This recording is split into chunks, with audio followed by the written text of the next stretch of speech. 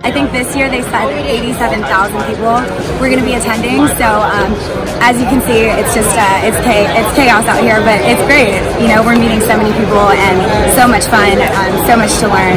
I have been incredibly surprised at how much bigger MJ Biz has gotten. I've been coming to this event for probably six years now, and I was really stunned at just the size of the showroom floor. I tried to walk the whole thing yesterday. I just couldn't. I got I got exhausted. Um, I'm surprised that it's gotten very ag heavy. It seems like it's very industrial and more trade show.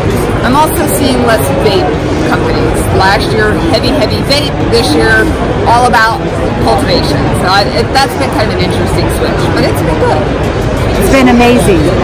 How do you see anything similar or different this year that surprises you or anything like that? No, it's, it's still the same. Everybody's all excited. Everybody's excited about the cannabis industry, and we're all one big happy family. The expo is incredible. Like there's equipment and packaging and bottling and branding and then farming, lighting. You got it's like it's like my brain's gonna explode.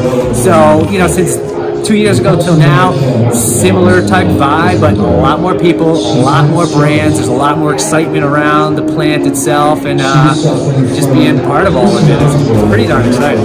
It's been an outstanding show. It's the first time I've ever been at this show. I love it, and I'll be back here every year. It's amazing. I come from Spain, so it's my first time here in Las Vegas. So it's exciting trade show. It's uh, a lot of exhibitors, uh, all professionals. So really, the, the industry here in Las Vegas is awesome.